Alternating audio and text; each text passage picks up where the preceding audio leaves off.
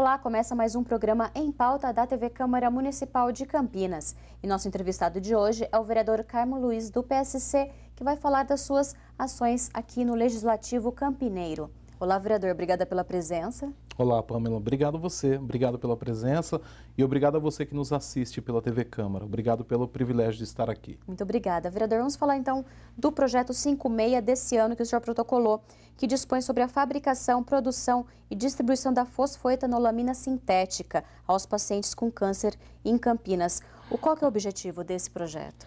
O objetivo desse projeto é que haja uma celeridade, é, em todo o processo de distribuição. O nosso objetivo é que seja aprovado também, tem uma moção, um projeto de lei também de um deputado estadual que distribui a, a, a, esse produto químico para todo o estado de São Paulo, faça com que isso chegue e nós, como moradores da cidade de Campinas, pedimos com, todo, com, com toda a urgência possível que esse produto seja disponibilizado para os nossos cidadãos. É...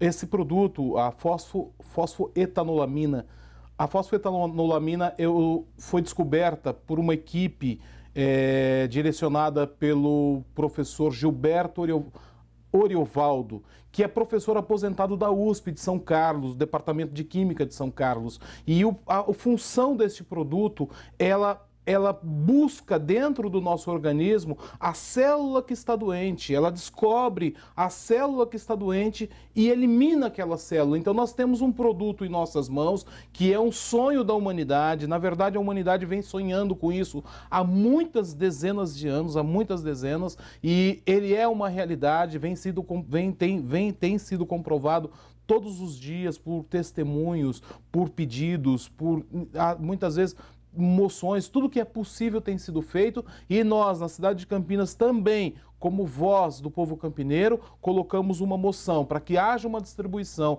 haja um processo de, de organização, haja um processo de regulamentação, haja todo o procedimento necessário, o que for necessário, para que nós não deixemos que esse produto é, tão importante, uma descoberta tão importante para a nossa sociedade, de uma doença que tem causado tantas tragédias, possa. É, é, em função das burocracias. É claro que são importantes, nós temos que tomar todos os cuidados possíveis, mas que haja um empenho de toda a sociedade no sentido de disponibilizar a, a fosfoetanolamina não só para Campinas, mas para todo cidadão é, do Brasil e do mundo. E parabéns à equipe de, de, da USP, de, de, São Carlos, para toda, toda a equipe, é, na, na, pessoa do professor Gilberto Orivaldo, um, um, um grande, um, uma grande descoberta que eu tenho absoluta certeza que trará grandes, grandes bênçãos à vida de nós seres humanos. Uhum. E por mais que ainda não tenha testes clínicos oficiais, né, que a Anvisa ainda não tenha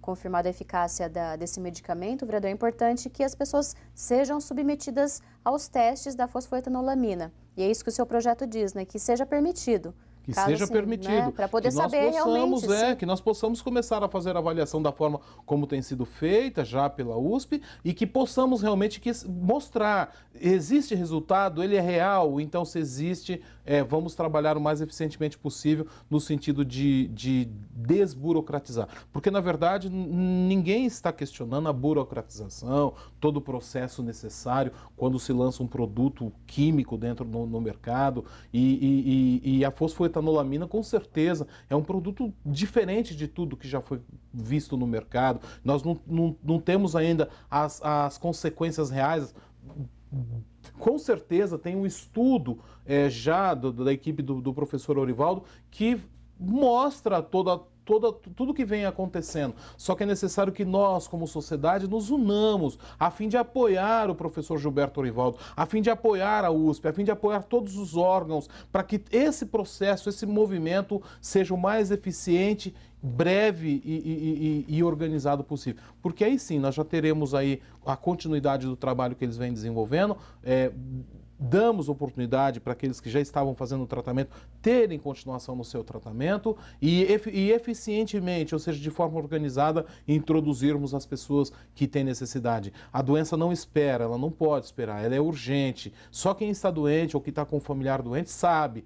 E é esse o nosso clamor para a sociedade, para todos, que, é, que isso seja é, feito o mais breve e eficientemente possível. Esse é o Afinal, nosso... né, vereador, se alguém não der o primeiro passo, como a gente vai saber se ela é eficaz ou não? De alguma forma tem que saber e acabar com essa burocratização. Né? É, nós precisamos caminhar muito rápido nesse sentido. Tá certo. Agora, outro projeto do vereador é, que institui aqui em Campinas a Semana do Lixo, é, do Lixo Zero. Que, do que, que ele se trata? Qual que vai ser a proposta dele? Na verdade, eu tenho observado e, e é muito triste, porque é, eu sou vereador de uma região é, periférica da nossa cidade e, e é, da região sul, sudeste da cidade de Campinas.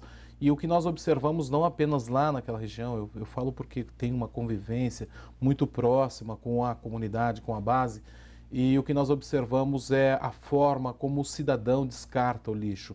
É claro que nós não, não, não, podemos, de forma nenhuma, culpar o cidadão. O poder público é culpado de tudo isso. Por quê? Porque não tem locais para colocar os resíduos, não existe uma seleção, uma, uma separação eficiente dentro da cidade, não existe uma preparação do poder público é, é, junto ao cidadão para que esse lixo seja descartado de forma eficiente. Só que isso não basta, ou seja, o poder público não fez a parte dele, o cidadão não faz a parte dele também. Então nós estamos propondo para a cidade, já dentro de um projeto que é o, um projeto do, do, do nosso atual prefeito, Jonas Donizete, que é o nosso projeto Cidade Limpa, a ideia é a mesma, no mesmo sentido, só que nós usemos uma semana do ano, uma semana do ano, e nesta semana façamos tudo o que for necessário no sentido de fazer simpósios, workshops, desenvolver projetos, é, incentivos, que o sistema de mídia todo se envolva, a fim de mostrarmos à sociedade que se não houver o envolvimento do, do, do, de todos, de todos, é, nós não venceremos realmente o problema do lixo que é grave na nossa sociedade e causa uma série de, de sequelas, doenças, é, é, é uma série de sequelas que que, que, que vão se desencadeando.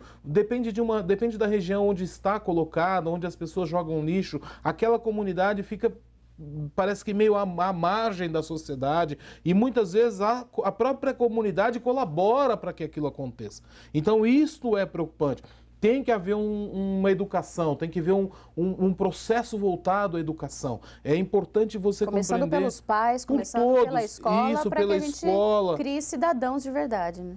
É importante você compreender, se você jogar uma bala, uma casca de bala no chão, essa casca de bala você colaborou para o lixo. Ela vai correr, ela vai para o ralo e você pode ter certeza que ela vai parar no fundo de algum rio. E sendo que na verdade não era necessário. Ou seja, a nossa atitude de uma casca de bala é a mesma posição quando nós jogamos qualquer coisa, qualquer coisa ou não temos o cuidado. Qualquer bituquinha de cigarro. Eu recebi é... um Facebook esta semana, uma coisa chega a ser absurda em que uma pessoa foi capaz de jogar o cão, o seu cão, deve ter sido o seu cão, é, dentro de um tambor de lixo em uma viela. Nossa, então você é. observa a, a qualidade da pessoa, a qualidade de ser humano que nós é, estamos tratando. Ou seja, nós precisamos é, um cão, é, seja ele de qual, de que forma for, se for o seu cão, ele merece no mínimo a dignidade de um enterro. No mínimo a dignidade de um enterro, se você pensa assim.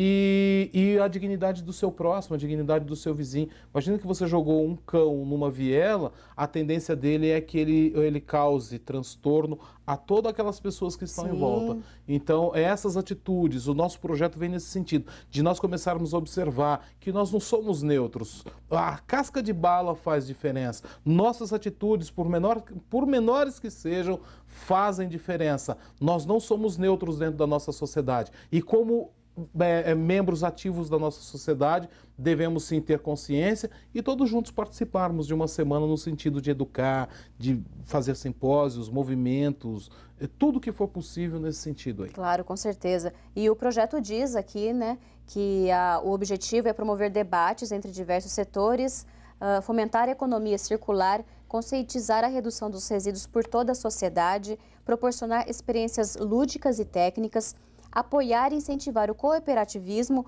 oportunizar o lançamento de novidades tecnológicas locais, favorecer e contribuir para a redução, reutilização, reciclagem, compostagem, incentivar o consumo consciente, como o próprio vereador falou, e incentivar a promoção de mutirão de limpeza em parques, praças, ruas, pontos turísticos e outros pontos da cidade que é sua, né, vereador? Agora vamos falar da moção, das moções também, que também é uma ferramenta de fiscalização aqui do, dos vereadores de Campinas. E a primeira, o senhor pretende, apela pela ampliação do programa Renda Cidadã. Primeiramente, do que se trata esse programa? Qual que é os benefícios que ela, ele traz? O Renda Cidadã, Pamela, é um, é, um, é um projeto igual do Bolsa Família. É um projeto do governo estadual, ele vem sendo implantado em algumas cidades do estado de São Paulo. E o nosso objetivo é que o governo do estado de São Paulo e o governo de Campinas façam um convênio. Porque qual que é o objetivo? É que haja realmente uma, uma, uma renda maior ao cidadão, porque hoje ele atende a famílias que recebem uma renda per capita familiar de um quarto de um salário. Imagine o que é, o que é um quarto de um salário pra, de renda per capita familiar. Então é, é muito pequeno, é muito ínfimo o, o, o valor ou seja, não atende de forma nenhuma as necessidades de uma família, absolutamente.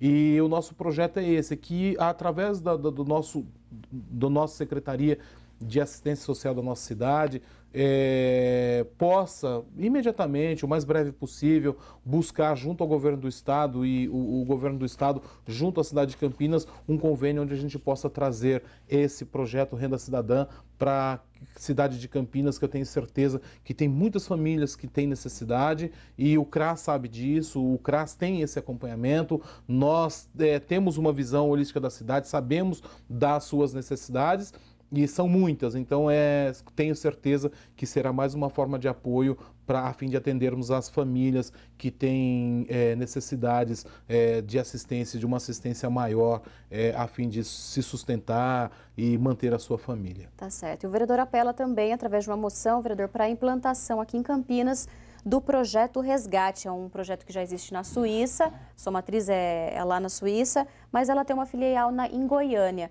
E como, do que se trata esse projeto? Que, qual que é a importância dele? Muito lindo esse projeto. Esse projeto, na verdade, eu recebi um convite. Eu sou amigo do pastor Vicente, da pastora Kátia e do pastor Davi há muitos anos. Nós viajamos muito, muitas, muitas, muitas vezes, fizemos muitas viagens. É, a Brasil afora, naquela época nós viajávamos, ao melhor, eu, eu, e eles viajávamos pelo Brasil. Eu não viajo para o exterior, eles que viajam. É, é, e o pastor Vicente e a pastora Kátia acabaram indo morar em Zurique na época e foram em missão para Zurique. E em Zurique encontraram as pessoas, é, é entre eles o El Guedes, que é o presidente atual do projeto Resgate de, de todo o mundo.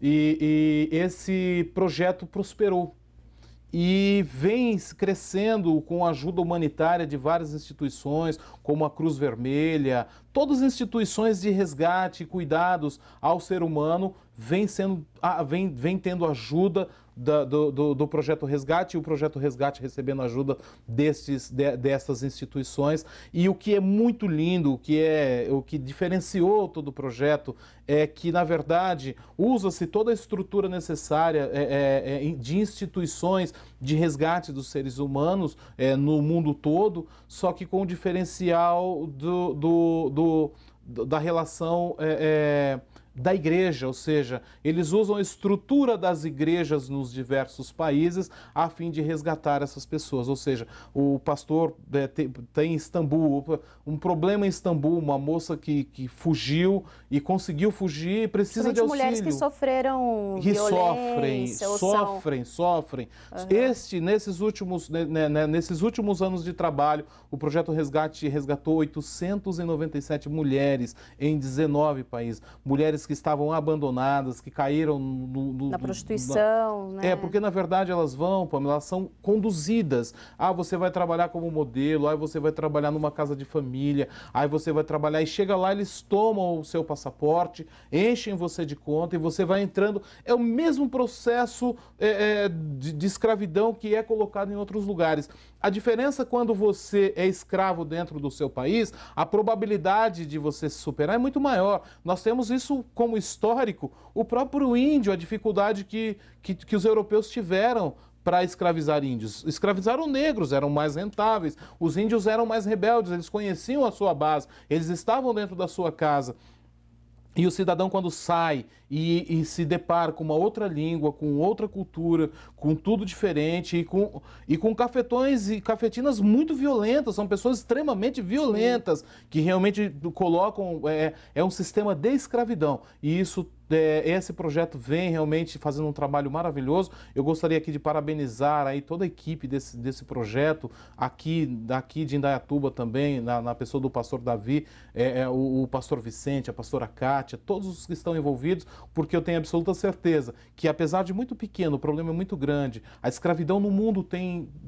As pessoas têm tampado essa, não tem dado a importância necessária. Mas a escravidão é um grande problema social é, moderno e que é necessário que façamos o trabalho, não no sentido apenas de conscientizar, mas que também aqueles que não tiverem consciência sejam resgatados. Tá certo. Vereador, muito obrigada pela sua presença e a gente volta no próximo programa com mais ações do seu mandato. Obrigado, Pamela. Obrigado a você que nos assiste. Foi um prazer estar aqui com vocês. Muito obrigado. E você não deixe de acompanhar a Câmara nas redes sociais. O vereador também participa das redes sociais. Você tem mais outras informações no site da Câmara Municipal e também sempre pela programação da TV Câmara Campinas pelo canal 4 da NET e 61.3 UHF. Nós agradecemos a audiência e até o próximo programa.